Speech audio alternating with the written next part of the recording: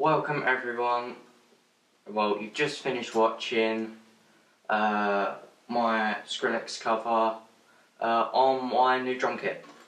Um, this kit here I got literally, depending on when I uploaded this, yesterday or a few days ago.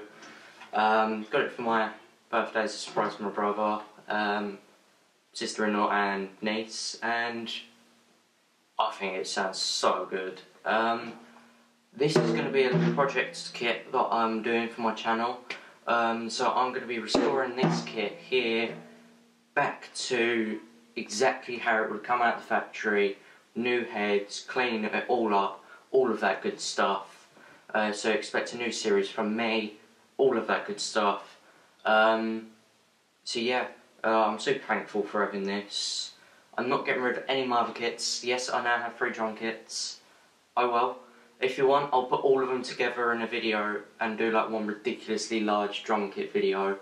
Um, please comment down if you want that and um, thank you all for watching uh, and I'll see you in the next one.